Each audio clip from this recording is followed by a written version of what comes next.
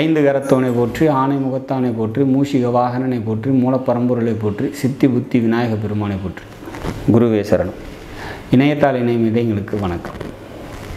இது டிசம்பர் மாத ராசி பலன் டிசம்பர் மாதம் கன்னிராசிக்கு எப்படி இருக்க போகுது அப்படிங்கிறத பார்க்கலாம் அதுக்கு முன்னாடி டிசம்பர் மாதத்தில் வரக்கூடிய முக்கிய விசேஷ தினங்கள் அப்படின்னா டிசம்பர் பதினேழு மார்கழி ஒன்று மார்கழி மாத பிறப்பு இது தேவர்களின் விடியற்காலை பொழுது இந்த மாதம் முழுக்க கோவில்களில் சிறப்பு பூஜைகள் உண்டு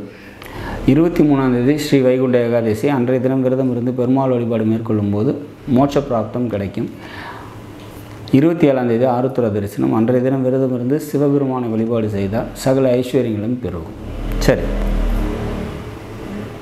எப்படி இருக்க போகுது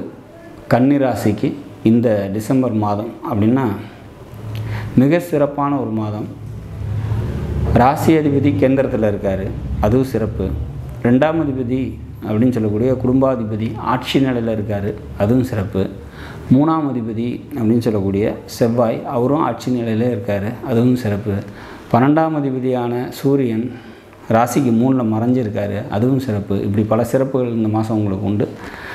தைரியம் தன்னம்பிக்கை வீரியம் இது எல்லாமே அதிகரிக்கக்கூடிய ஒரு மாதம் குடும்பத்தில் ஒற்றுமை நிலவும் பொருளாதாரம் நல்லாயிருக்கும் வீட்டுக்கு தேவையான பொருட்களை வாங்குவீங்க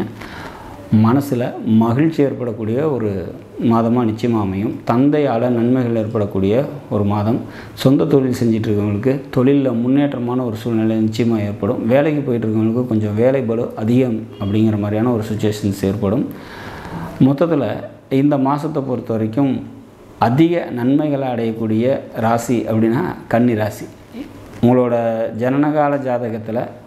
ஓரளவுக்கு சப்போர்ட்டிவிட்டியான திசாபுத்திகள் இருக்குது அப்படின்னா இந்த டைம் இந்த மாதம் வந்து உங்களுக்கு வாழ்க்கையில் ஒரு முன்னேற்றமான ஒரு சூழ்நிலையை நிச்சயமாக ஏற்படுத்தி கொடுக்கும் ஏன்னா ருச்சக யோகம் இருக்குது அது வந்து மிக சிறப்பான ஒரு அமைப்பை தரக்கூடிய ஒரு அமைப்பு மாளவிய யோகம் இருக்குது சுக்கரன் ஸ்ட்ராங்காக இருக்கார் அப்போ பெண்களால் நன்மைகள் நண்பர்களால் நன்மைகள் மனதுக்கு மகிழ்ச்சியான சம்பவங்கள் நடக்கக்கூடியது வேலைக்காக முயற்சி பண்ணுறீங்க இல்லாத அரசாங்க வேலைக்காக முயற்சி பண்ணுறீங்க அதெல்லாம்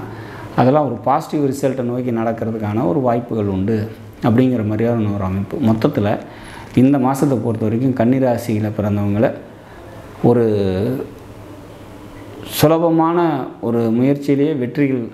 சுலபமாக ஈஸியாக கிடைக்கும் அப்படிங்கிற மாதிரியான ஒரு அமைப்பு சரி சந்திராஷ்டம தினங்கள் அப்படின்னாக்கா இருபத்தி ரெண்டு இருபத்தி மூணு இருபத்தி நாலு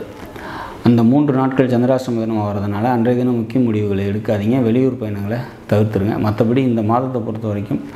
நல்ல ஒரு மாதம் அப்படிங்கிறத நம்ம உறுதியாக சொல்லலாம் நாடும் நாட்டு மக்களும் நலமுடன் வாழ நவகிரகங்களை வேண்டி அமைகிறேன் நன்றி வணக்கம்